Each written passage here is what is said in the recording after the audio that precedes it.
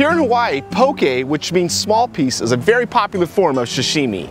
Today you can find many varieties of this Hawaiian comfort food, and today I'm making spicy ahi poke.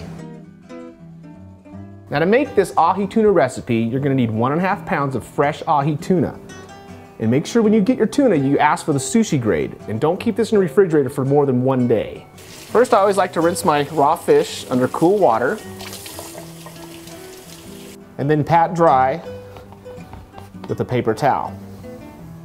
Now we're gonna dice our tuna and we're gonna go against the grain of the fish. Get a few slices off the steak here. We'll set them up like that. We'll go down the middle.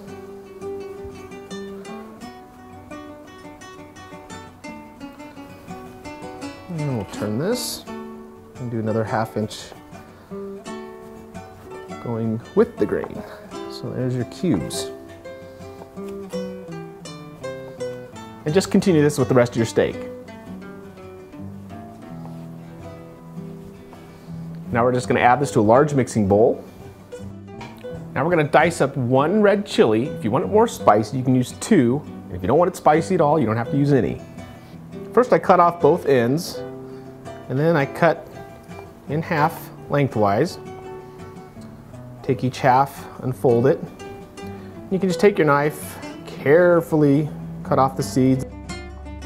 Some people like to use latex gloves when they're doing this because your fingers will absorb some of the spiciness and sometimes you can rub your eyes and get chili burn in your eyes. To finely mince, you just want to cut these into little matchstick strips, bunch them all back up together, and just take off a little bit at a time here. Now let's start with our minced pepper. Quarter cup of Maui sweet onion. Teaspoon of fresh grated ginger. Teaspoon of my garlic shallot puree. Three diced green onion. One third cup of shoyu sauce. One tablespoon of toasted sesame seeds and two tablespoons of Asian sesame oil. Finally, I'm going to add about two tablespoons of chopped macadamia nuts. And if you can find the traditional kukui nut, go ahead and use those. And to chop these nuts, I just put them in a baggie, use a mallet and smash them up. Put these in a food processor and spin them around, kind of turns into a paste. Now stir and chill for one hour.